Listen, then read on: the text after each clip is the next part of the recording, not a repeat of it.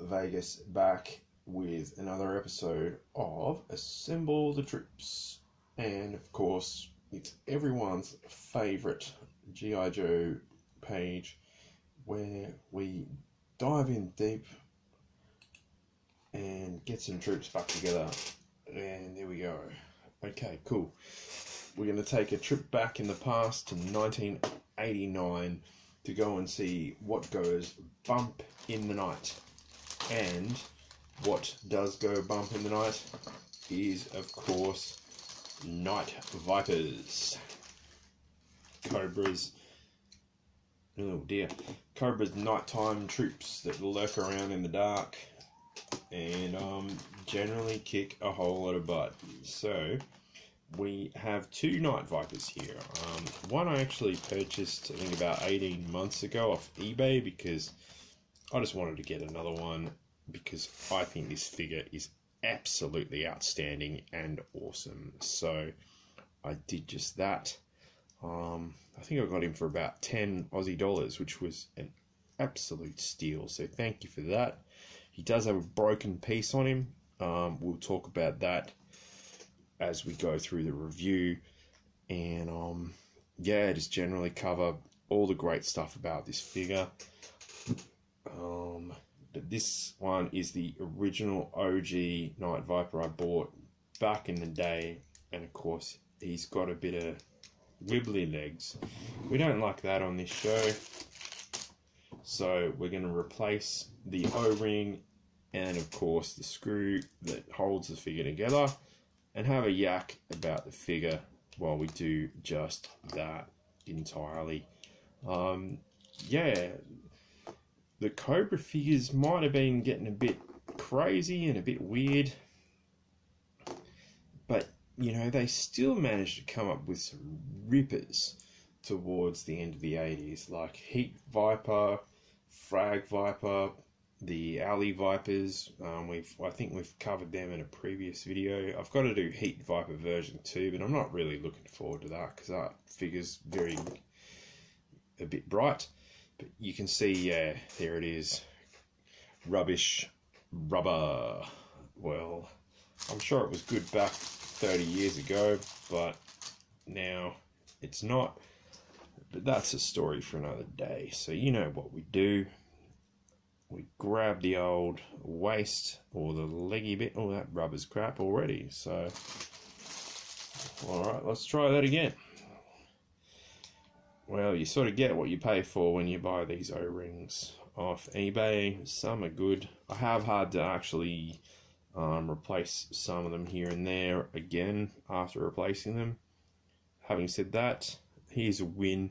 Night Viper no waist injury there, so that's great. So no unfortunate damage to his nether regions. But let's just, you know, as we do, just feed that through the old O-ring through the waist piece as always. We get the back bit. The back bit, of course, has the peg that the screw will go through in time. It has those two little guide posts which link up to the two little guide holes and everything on the front of the torso body part. Let's give him some arms, which I always do next, like that. So he's got himself a right arm. Let's see if we can't get him a left arm as well, which we've done with gusto, so that's good news. We get his head, and like I said, you just sort of twist him in there and pop it, as it were. We've got to get a brand new screw for the back piece because I just figure we've gone to this much effort. Let's not put in, you know, something that's like rusty or whatever again. So there we go. He's all screwed up and ready to rock and roll. And um, what incredible figure this is. 1989 Night Viper. This is just top shelf stuff. Like one of the best of the best. Um, I love this figure. It's a real classic, and like I said, I, I enjoy it so much. I just grabbed another one when I found it cheap off eBay and was like, yeah, man, bring it on. Um, now, he came with this rifle that's got this cool strap on it. So, you know, he can just go, hey, I'm walking around with my rifle all strapped up on my back. So he's pretty cool like that.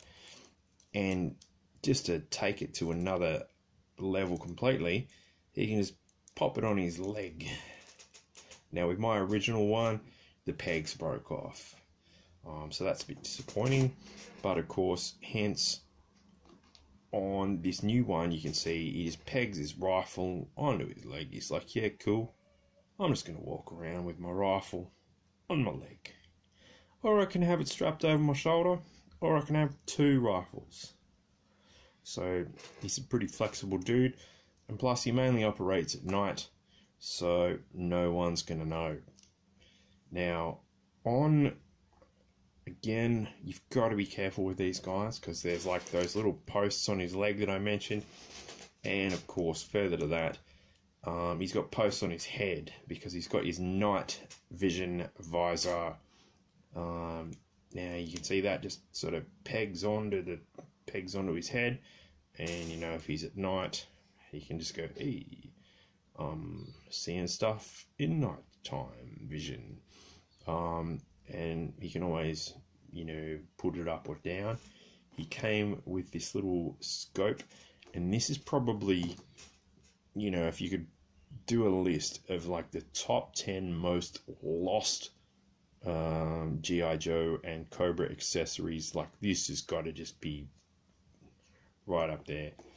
But um, the idea of that is that you just pop that onto said visor, um, and he gets extra night vision, I guess. But yeah, just be real careful with that. If you are going to lose one thing, it's that. Um, yeah, that's just just how it is with these guys. He came with this cool backpack. Um, it looks like it's got some radio equipment and stuff on it. Great, fantastic and I'm guessing some night vision sort of gear. But yeah, don't these guys look great? Like, what a, an amazing figure, and um, you know, this was one for the ages. Like, seriously, a really cool figure. Um, I think these guys actually caught Snake Eyes once, and yeah, did a whole lot of other cool stuff. Just generally, because look at them, they're great and um, they they're probably like a bit annoyed at me shining the filming light on them with their night vision goggles, as that would amplify that somewhat.